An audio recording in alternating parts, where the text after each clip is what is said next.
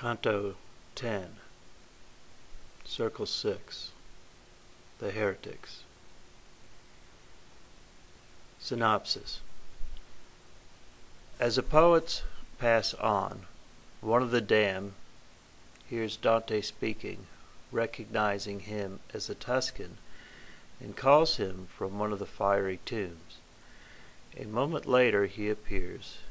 He is Farinata degli Uberti, a great war chief of the Tuscan Ghibellines. The majesty and power of his bearing seems to diminish hell itself.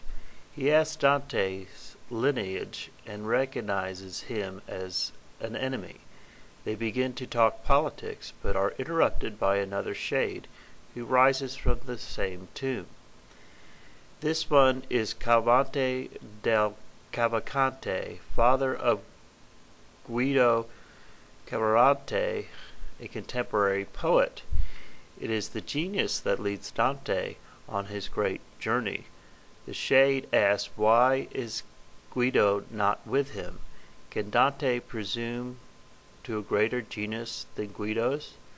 Dante replies that he has come this way only with the aid of powers Guido has not sought. His reply is a classic example of the many-leveled symbolism as well as the overt criticism of rival poet. The senior Cavalcante mistakenly infers from Dante's reply that Guido is dead, and swoons back into the flames. Farinata, who is not designed to notice his fellow sinner, continues from the exact point at which he had been interrupted. It is as if he refuses to recognize the flames in which he is shrouded. He proceeds to prophesy Dante's banishment from Florence. He defends his part in the Florentine politics, and then, in answer to Dante's question, he explains how it is that the damned can foresee the future, but have no knowledge of the present. He then names others who share his tomb, and Dante takes his leave with considerable respect for his great enemy, pausing only long enough to leave word for Cavalcante that Guido is still alive. Text We go along the rise of the dark city between the wall and the torments. My master leads me, and I follow him. Supreme virtue, who through the impious land wheel me at will down those dark gates. I said, Speak to me, for I wish to understand. Tell me, master, is it permitted to see the souls within these tombs? The lids are raised, and no one stands on guard. And he said to me, All shall be sealed forever on the day these souls return here from Jehoshaphat with the bodies they have given once to clay. In this dark corner of the morgue of wrath lie Epicurus and his followers, who make the soul share in the body's death. And here you shall be granted presently not only your spoken wish, but the others as well which you have thought perhaps to hide from me.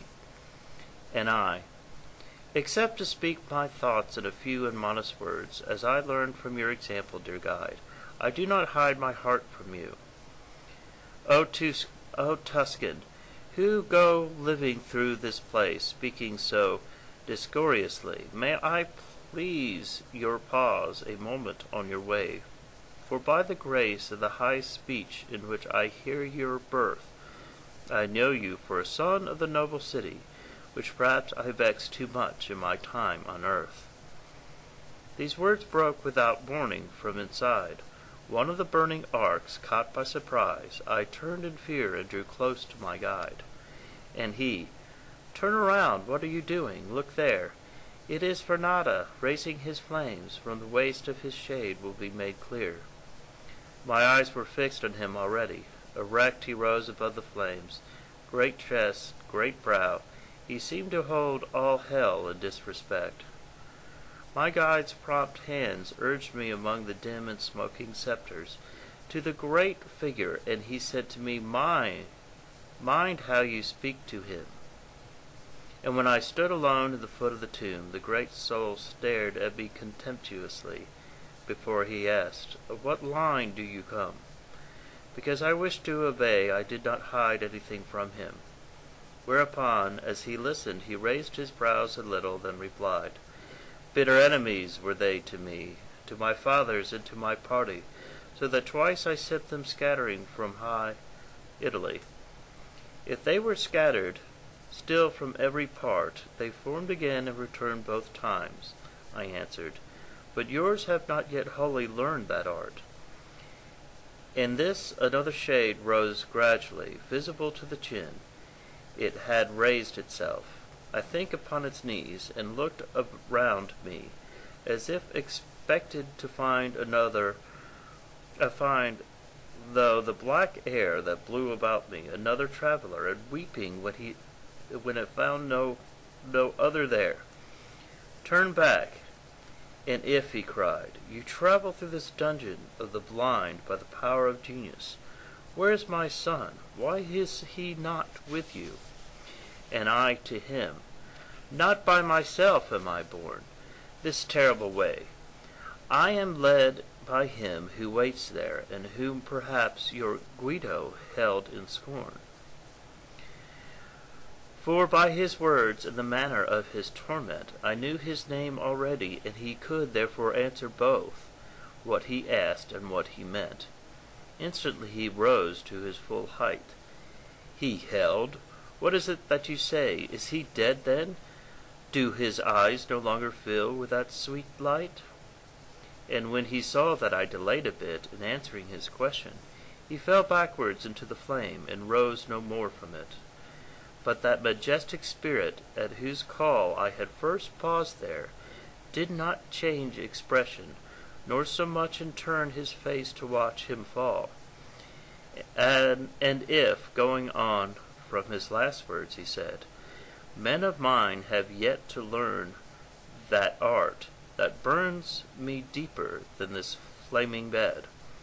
But the face of her who reigns in hell shall not be fifty times rekindled in this course, before you learn what griefs attend that art.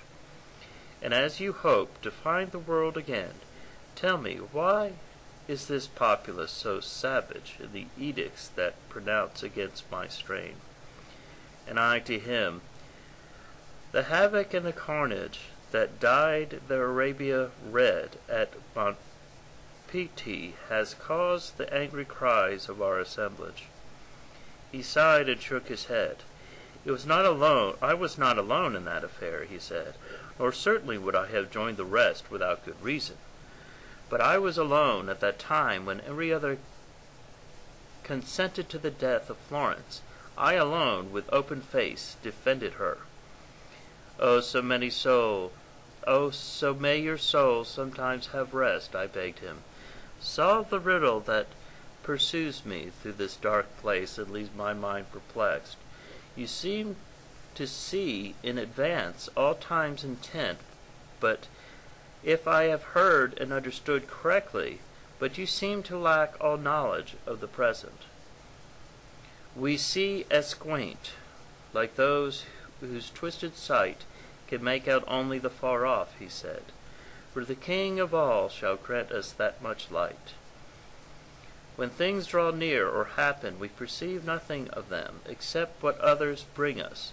We have no news of those who are alive. So may you understand that all we know will be dead forever, from the day and hour when the portal of the future is swung to. Then, as if stricken by regret, I said, Now therefore, will you tell that fallen one who asked about his son that he is not dead, and that if I did not reply more quickly, it is because my mind was occupied with the confusion you have solved for me. And now my guide was calling me. In haste, therefore, I begged the mighty shade to name the others who lay with him in that chest. And he, more than a thousand cram this tomb. The second Frederick is here, and the cardinal of the Ubaldini. The rest, let us be dumb. And he disappeared without more said, and I turned back and made my way to the ancient poet, pondering the words of the dark prophecy. He moved along, and then when he had started, he turned and said to me, What troubles you? Why do you look so vacant and downhearted? And I told him, and he replied, Well may you bear these words in mind. Then pausing raised his finger, Now pay attention to what I tell you here. When finally you stand before the rays of the sweet lady whose bright eyes shall all from you will learn the turning of your way. So saying, he bore left, turning his back on the flaming walls, and we passed deeper yet into the city of pain, along a track that plunged down like a scar into the sink, which sickened us already with its stink.